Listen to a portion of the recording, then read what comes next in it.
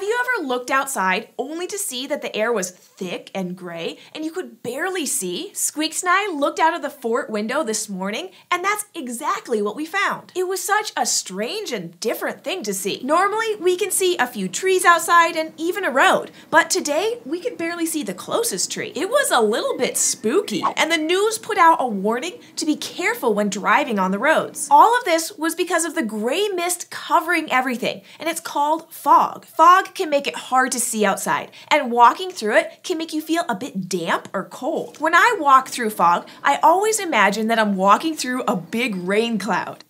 That's right, Squeaks. It seems that way because fog does look a lot like clouds, except really close to the ground. In fact, clouds and fog are made of the same thing tiny droplets of water. From far away, clouds might sometimes look like thick, fluffy pillows or even cotton candy, but really, walking through a cloud wouldn't feel fluffy or comfortable at all. You'd get really wet. There's always some water in the air, except it's not a liquid. It's usually a gas, the same type of thing as the air itself which is why we can't see it. We call that type of water water vapor. But when there's too much water in the air, it condenses or pulls together really close to become a bunch of super tiny droplets of liquid. When this happens high up in the sky, all those little droplets form what we call a cloud. This can happen much closer to the ground too, which is when we call it fog. It just doesn't happen as often. For fog to form, there needs to be a lot of water that's just reached the ground.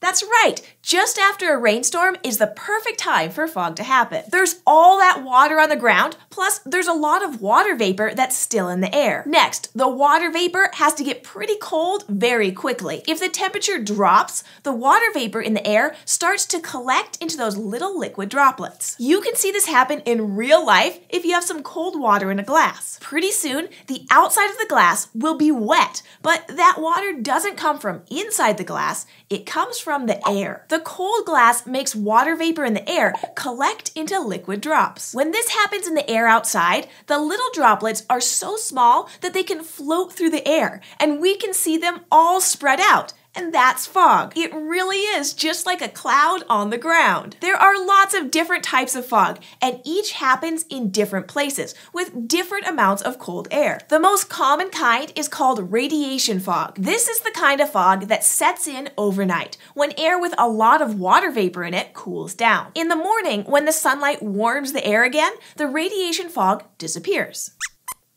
Good question, Squeaks. Where does the water go when the fog disappears? When the water in the fog starts to heat up, it begins to evaporate or turn back into water vapor and spread out. When the water vapor is spread out again in the air, we can't see it. It's too small for our eyes. But just you wait, Squeaks. I hear it's supposed to get pretty cold tonight, and I bet we'll get some more fog. I have a great idea. Let's bring our weather journals outside so we can observe what we find. Is there fog where you live? Have you ever walked through the fog and not been able to see well? Do you have any other questions about the weather? Have a grown up help you leave a comment below or send us an email to kids at scishow.com. And don't forget to hit the subscribe button, and we'll see you next time here at the fort.